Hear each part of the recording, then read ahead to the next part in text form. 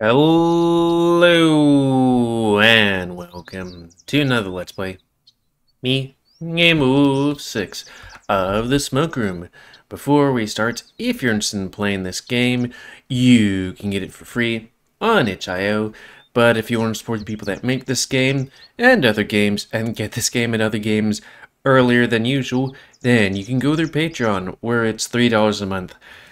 As with other times when I do this, I completely forgot to look that up and I had to look it up while I was doing the intro. Because it do be like that. And boy, it has been a hot minute since I played this game. Because I did a whole bunch of videos and then, you know, got busy with work and did other videos. And the last video I did was January, March of 2023. And this one I'm doing in October of same year. It's been almost a year. We're over it. But yeah, uh, there's been developmental updates. Like uh, all the saves were, you know, not compatible, so I had to redo it again. But that's fine. I just hit the uh, skip button and all that.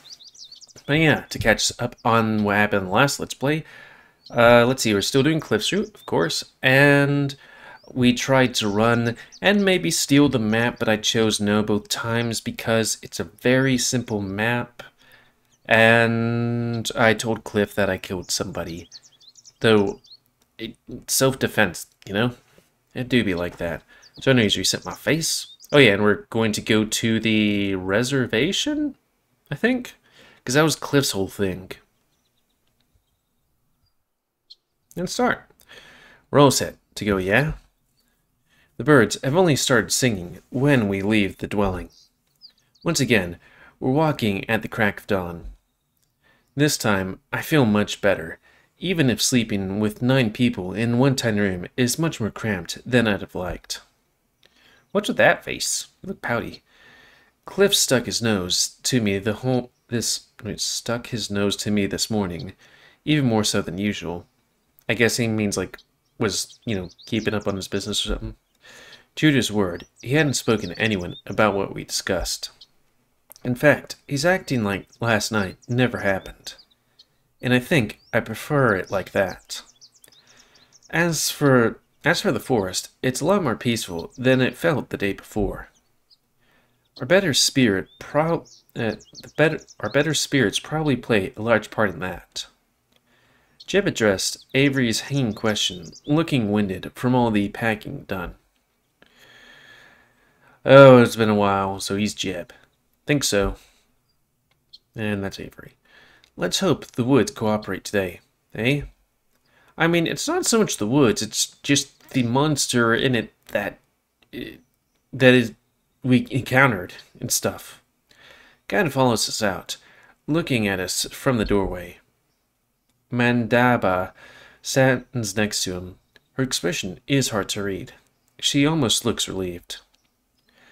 I suppose this is where we say our goodbyes. I'll be back before you know it. As soon as he sees them, Cliff pushes past us, briskly walking over to the pair. He extends a hand. Gad takes it with some hesitation. Thank you so much for letting us stay in your beautiful home. I shall carry this experience with me for the rest of my life. He's laying it on thick, for sure. Be safe on your travels. The weasel shows his toothiest grin. Oh, we shall. They shake paws, after which Cliff walks back over to us. You boys know where our, your camp is? Jebediah nods his head. I always camp in the same spot. It's about a day's travel from the settlement. Alright, we'll have to be careful. There's no telling what we'll find out there.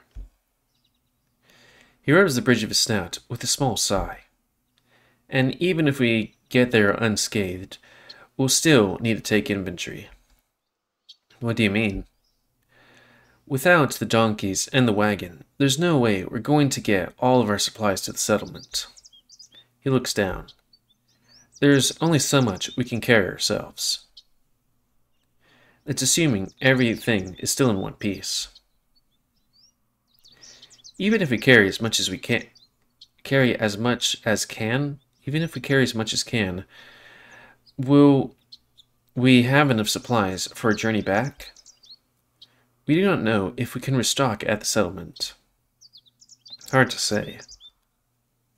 Everyone goes quiet. We don't really have a choice, do we? Worst case scenario, we'll have to live off the land. Berries and mushrooms aplenty if you know where to look. Many poisonous ones too, if you don't. Murdoch whistles. It's almost though we ran out of deadly things to find in the in this forest. Wait, I almost thought we ran out of deadly things to find in this forest. Seems it still has some surprises in store. We might want to pack extra water to prepare for the heat. Still chilly out. We should be good for a while. Until afternoon comes around. Yes. Boy, I wouldn't want to think what it'd be like going through a desert with all that fur on. Woof. After that. Let's be off then, before it gets too warm. He turns his head and waves at Avery's parents, but they've already closed the door to the Hogan. Hogan? Following one of Avery's maps, get back on the trail. Avery and Jebediah leading the group. Jebediah says we need to follow it until we reach the third fo uh, fork in the road. A couple of hours of walking at leisurely pace. Thankfully, the air is still cool, which makes it a lot easier and far less sweaty. I'm walking between Murdoch and Cliff while we bear, while the bear and Kit Fox keep a steady pace in front of us. Now is what a Kit Fox is something else, I guess. I still don't remember their names. There's plenty of plump huckleberry uh, bushed on the way. There's still plenty of plump huckleberry bushed on the way. Yeah, I don't know. I'm not sure if that's a grammatically correct word, sentence, or what. Birds singing in the distance, and the slow trickle of water beside us is music to my ears. I do miss that sound right there. You're not actually smiling. No, wait, you're actually smiling? It takes me a moment to realize he's talking to me. I didn't know smiling. I stopped smiling. Well, that didn't last long. Yeah, yeah, you should count yourself lucky. I ain't charging you to see you.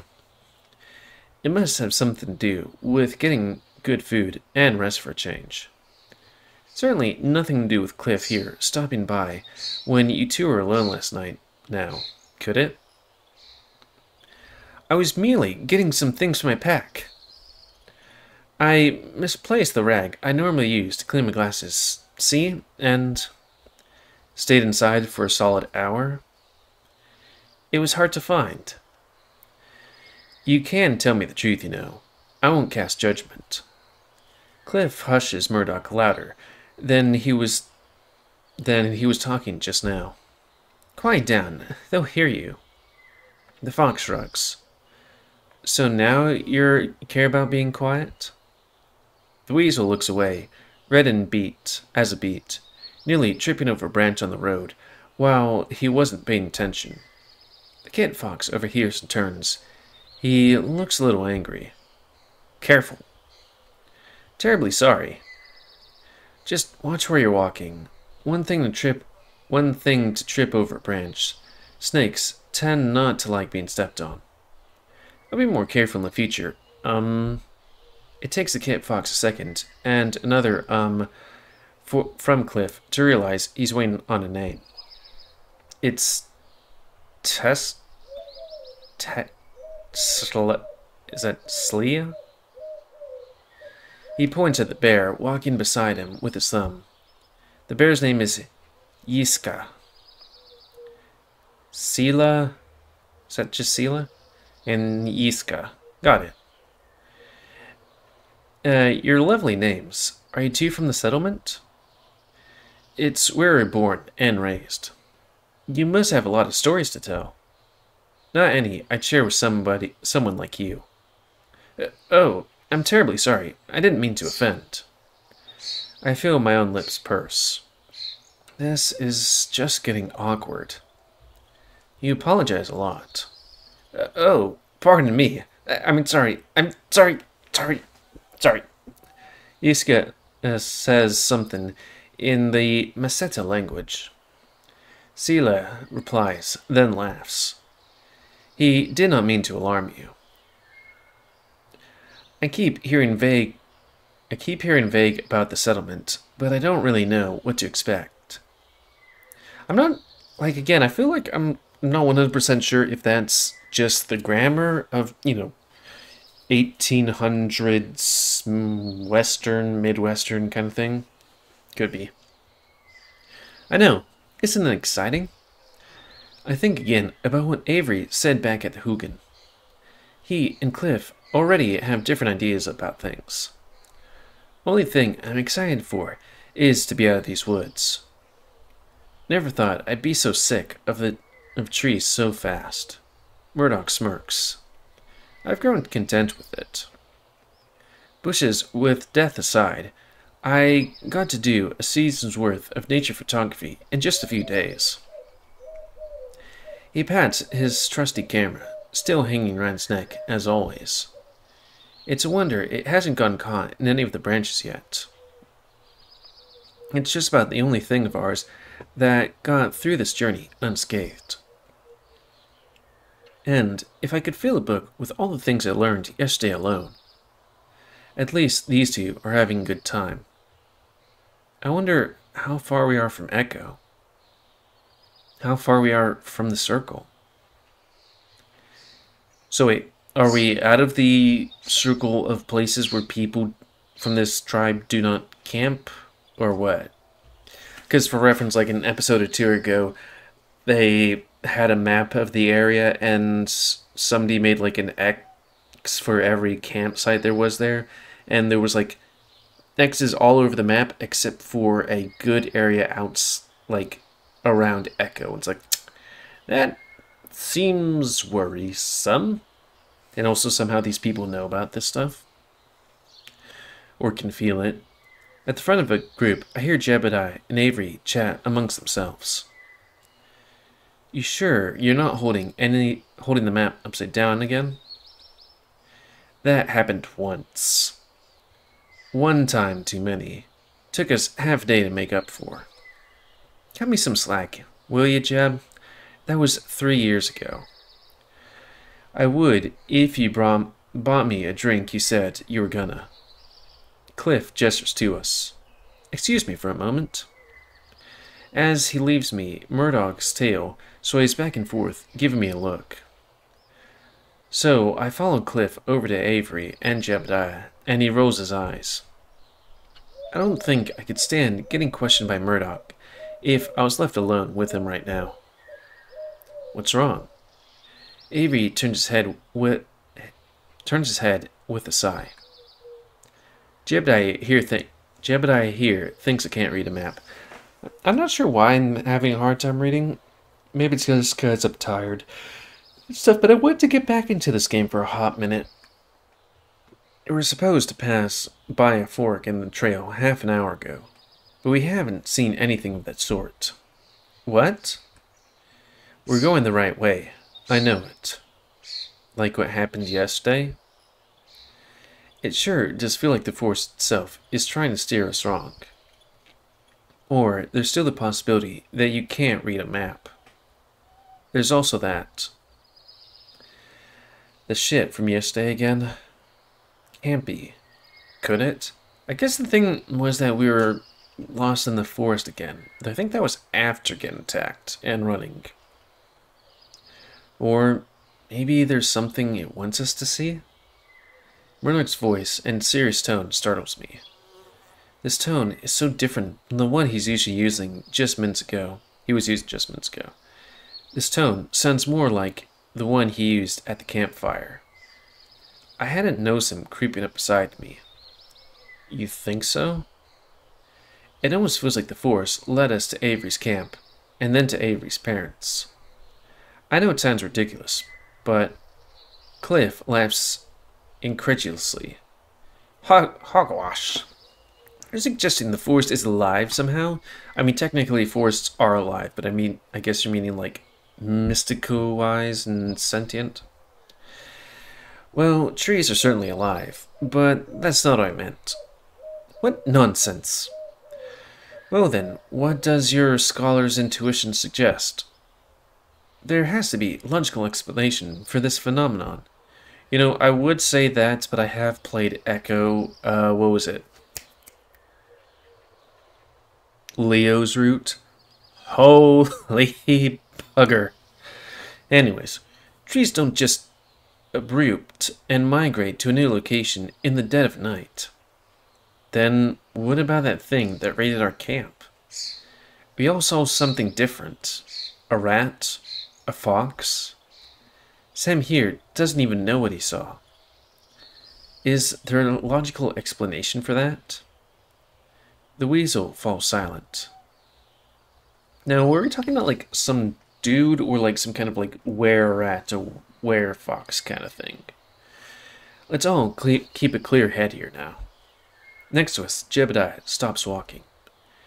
Yiska bumps into him by accident, shoving him forward a little. Hold on, do you see that? He points up, behind the trees, a little off the trail. It looks like some sort of wooden roof. Another dwelling? That's not supposed to be here. I've been here more times than I can count, and that is not Definitely looks like it, though. I didn't want to feel right. I didn't want to feel right this soon. Oh, that, um... They were buggered with the map or something? He laughed softly. Maybe they could make me a professor at the school of yours. Sh should we investigate then? His squeaking makes half the words hard to understand. Why so nervous? I thought everything had a log logical explanation to it. He's glaring at the house. That's exactly why we should investigate. His bad attempt and, be and brave face isn't fooling anyone. They might have supplies we can use. Or there might be crazed hermit sharpening his axe by the front door. Well, looks abandoned. I think we all expected to see something close to a house that belonged to Avery's folks, but this is just a log cabin. Or what's left of it. What used to be windows have cracked in their frame, and moss is eating away at the roof. The doorway is so warped that it's slanted to the side. What, na what nature of desolation is this? Cliff starts walking through the doorway, uh, wait. The weasel is already inside the building. The rest of us exchanging glances. Well, what are the rest of you waiting for? Y'all following him in? Fuck no. The hell is he thinking? Well, uh... I doubt I could fit through the doorway. That structure doesn't look safe. I don't mind risking it. Plus, if one of us hurts ourselves, we can help the other, help out the other. The fox walks up to the doorframe and slips on through. Well, might as well scope out the surroundings while they're inside. Might as well nail, nail a pair of wooden crosses to the trees, because going in there is as thick as pig shit. The bear and the fox, a kit fox, talk to each other in the Mseta language. And what about you? Uh. Oh, this is gonna be the choice that decides our fate. I'm kidding. Maybe. Stay with Jeb and Avery. Cliff and Mer. I mean, I'm curious what's in the house. So, you guys be okay outside? This muscle ain't just for show. My client says he needs me. He needs me. Your funeral. Avery gives Jeb a look. First sign of trouble, just holler, and we'll be on over. Or at least one of you, because you're too big.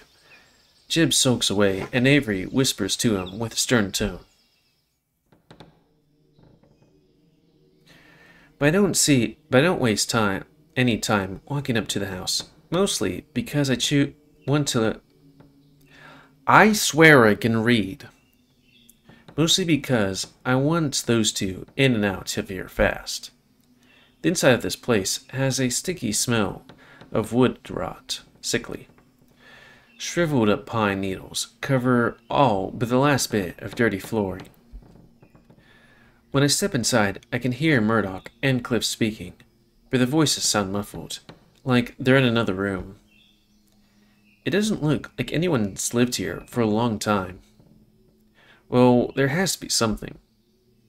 I turn the corner into the hallway, looking for doors or a stairwell, trying to follow their voices. There isn't much lighting in here. Surely we'll find a letter or an old newspaper if we look long enough. Folks don't always have access to print out in these pl in places like this. Then I turn another corner. The room looks similar to the front room, but there's a busted wood stove and a broken table. I'm surprised to see our Kit Fox friend S Sila sitting on the chair near the table. I thought you and your friend uh, out there were giving this place the evil eye. You've never been away this long. You've never been away this long? I stumble back when the fox's voice is several timbres brighter, or higher. Now that I have a clear look in the dark, I can tell he's wearing a white buttoned-up shirt and slacks, much looser than Tessa's le leathers. Uh, I'm sorry. I've never been here before. And I've never seen you. Me and my associates assumed this place was abandoned. Well, we'll be out of your hair in a spell. You've got a gun, don't you? I actually don't, but I don't think I want to tell him. I want him to know that. Okay, what the fuck's going on? I'm starting to wonder if I should yell or not, but I see his hand placed beneath the table, and I make, and if I make a sudden move, I feel a pit form in my stomach. I don't mean no harm. I always want to see a real pistol. They say the Navy only has access to those, and they're faster than any piece of junk we could ever barter for around here. Wait a minute. I know that kind of voice. That's a flirting voice. Is this boy sick? Maybe he's just feral? Wait, where are you going? My brow furrows at this queer Kit Fox, considering I was just going anywhere. I wasn't going anywhere, but he's getting up now. When I see he wasn't holding gun, I back up. He stands up and walks over the counter full of cobwebs, with a large orb uh, weaver spider on it. Okay, back up a sec. Turn to the room. You've never been away this long.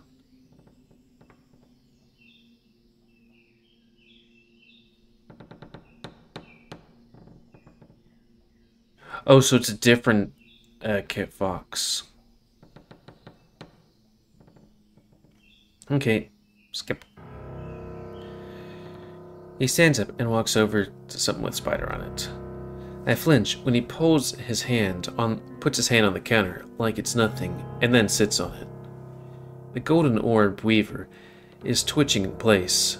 My guess could be from the sudden crowding crowding. At this point, I don't know if I should feel more bad for him or the spider The hell is wrong with him? Is he confused? I wouldn't have minded uh, one of those crummy pepperbox models he hates so much. No, he's sad. I can hear it now in his voice. He's sad. Sad at me. Like I'm the one who's in the wrong. Like I'm somebody who did something. As if it's my fault. You don't tell me anything anymore. He bends his neck, looking in a hanging cabinet space, pulling a cup, pulling out plates, setting them beside him, like he's used to doing this all the time. I thought you told me we could be different. There he goes trying to guilt me about something again. This boy I ain't ever seen in my life. I'm just looking at the audio thing. You know that if you don't show me your world, the colonizer world, I mean, I'll just end up seeing it for myself, you know. That one was set that one was said all sing along teasy, which is exactly the tone I didn't want to hear from a stranger. I'm sorry, I was just trying to make you mad. I'm just walking slowly backwards. I shouldn't have said that. The fox moves his paw down the front of his shirt. He's unbuttoning it. His eyes look terrified, like he's about to beg me for something that he's scared he won't ever get back. I'll even do that, you know? His pants come off. No! Get the hell away from me! I scramble down the hallway, running into the sides of the walls. Cliff! Murdoch! Nobody answers. The sound of my heart thumping in my chest drowns out the sound of him crying. I feel like I'm getting turned around more than I should in a cabin like this small, because I have to turn a few extra times to find the front room. I don't hear him come after me, so I know I should be relieved. But I won't feel calm until I'm out of this place. It's creepy what he said to me. Almost like he was coercing me, a total stranger, into feeling how afraid he felt. Awfully inconsiderate. I can't be out of the front door sooner. Front port squeals when my foot, uh, foot paws land on it, but I won't slow down. Cliff and Murdoch already outside, yammering at one another, like it's another goddamn Tuesday. I gasp and pant, holding my chest. You don't look so good. Did you find something? I don't want to tell him that there's a person in there. Because I don't ever want to see that person again. I can't. I won't. I used to think I was always the most pathetic person within 2,000, 200 mile proximity. But I didn't like that. I didn't like that at all. Alright, let's get a move on before the sun starts cooking us alive. We wasted enough time here as it is. I think with that scene change, uh, we should in, especially since we're at the 30 minute mark. Do do do. Oh, uh, okay, I was a bit worried that there would be a wiener somewhere. So, end of this Let's Play. I'm not exactly sure what I would say with that Let's Play, because it's like, okay. Uh, we walked away and found a cabin. Also, I guess they add this thing where they, it's like, here's um, everybody's updates and stuff that you can just skip to the thing because the saves were, you know. I wonder how it works with um choices, you know? Let's see. Like, I think we got up to that point. We're still in chapter 2. Don't remember that. I guess there's two more of these. At least it helps me figure out, like, how much time there is. Because we got up to that... Past that point? Yeah. So what are these things? Spooky. Is that like a... What is it, a pigeon? I do miss that sound at my grandma's place. Good times. Just sitting, drinking coffee. Anyways, enough diatribe and stuff, or whatever. The end of this Let's Play. So comment, guys, I like comments, tips you like, dislike, tips, tricks, otherwise. If you like my YouTube and like see grow, then please like, subscribe, and check out the rest of the grow. Please remember Spain, new animals to control the pet population. But I think this is the first actual one of these videos that came out after I posted the first video. Because currently, let me just check. The last video we posted was uh, episode 7? Yeah. So it gives you a decent amount of time to know how far into the future I make these sometimes. I have been slacking recently. But anyways, if you want to play this game, free on itch.io, but if you want to support the people that made this game and or get early access, $3 a month. And yeah. And until next time on another Let's Play. Me, GamerWolf 6, this smoke room. So thanks and see ya.